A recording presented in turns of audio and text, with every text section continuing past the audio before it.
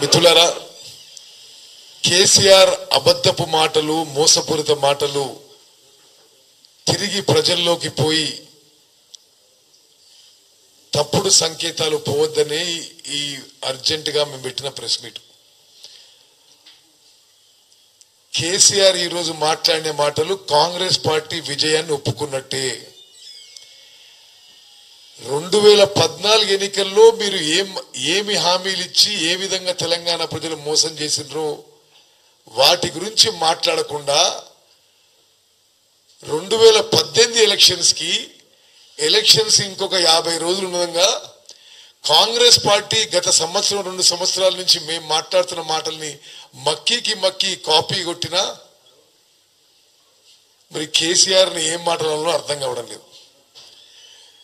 ఇంకా రెండు మూడు విషయాలు నేను చెప్తా. ఎంప్లాయీస్కి టీచర్స్కి నువ్వు ఎందుకు పిఆర్సి ఏర్పాటు చేయలేదు బహిరంగ బహిరంగ ప్రకటన చేసిన తర్వాత క్షమాపణ చెప్పాలి.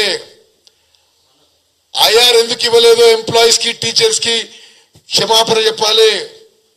సిపిఎస్ విధానం రద్దు చేస్తా అని ఎందుకు స్పష్టమైన హామీ ఇవ్వలేదు క్షమాపణ చెప్పాలి. మనం ఈ విధంగా తెలంగాణ సమాజంలో కీలక పాత్ర ఒక కీలక భూమిక ఉన్న అన్ని వర్గాలను చూస్తే యువత విషయంలో మోసం చేసే ప్రయత్నం మళ్ళీ చేస్తున్నాడు. అధికారంలో ఉండి మేము ధనిక రాష్ట్రం రెవెన్యూ సర్ప్లస్ రాష్ట్రం అరే రెండు లక్షల కోట్ల అప్పు తీసుకొచ్చి మూడు వేల రూపాయలు నెలకి నిరుద్యోగ వృత్తి కూడా ఇవ్వలే. రెండు లక్షల కోట్ల అప్పు తీసుకొచ్చి ఏకకాలంలో రుణమాఫీ చేయలే. లక్షల కోట్ల అప్పు చేసి సమాజంలో అత్యంత బీదవారు weakest of the weak poorest of the పూర్కి pension పెంచలే. పదవి దిగిపోయే ముందు పదవి నుంచి దిగిపోయే ముందు ఎన్నికల్లో ఓడిపోతున్నామని గుర్తించి మేమన్న మాటలే కాపీ చేయడానికి సిగ్గుపడాలి కేసీఆర్ అని చెప్తున్నాం. ఎస్సీ ఎస్టీల విషయంలో కొత్త కార్యక్రమాలు చేస్తారట.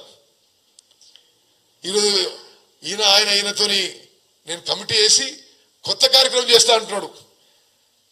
అసలు చెప్పిన విషయాలని క్షమాపణ చెప్పలేదు ఎందుకు? దళిత ముఖ్యమంత్రిపై ఎందుకు మాట్లాడలేదు? దళిత ముఖ్యమంత్రి చేస్తా లేకపోతే నా తల నలుపుకుంటా అన్నవా లేదా కేసీఆర్? ఈ వీడియో గనుక మీకు నచ్చినట్లయితే లైక్ చేయండి షేర్ చేయండి. మరిన్ని వీడియోస్ కోసం మా ఛానల్ను సబ్స్క్రైబ్ చేయండి.